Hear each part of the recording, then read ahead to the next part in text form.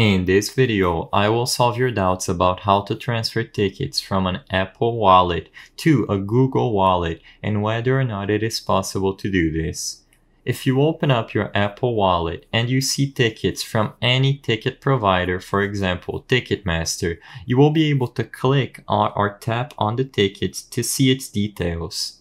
On the details about the ticket, you can scroll down until you find the share ticket or share pass option or these, this icon at the top right corner of the screen.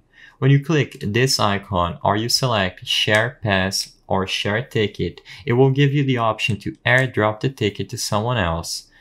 However, what you will notice is that AirDrop is only available if you have an iOS device nearby.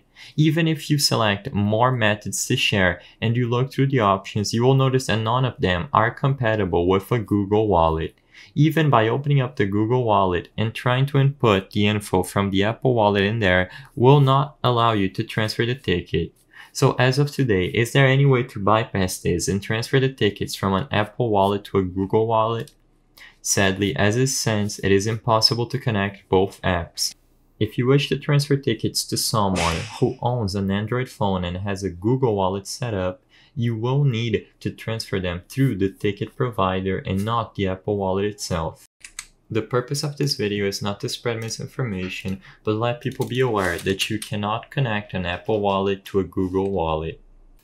If this video cleared up any questions you had, Please be sure to leave a like and subscribe for more quick and easy tips. Thank you for watching.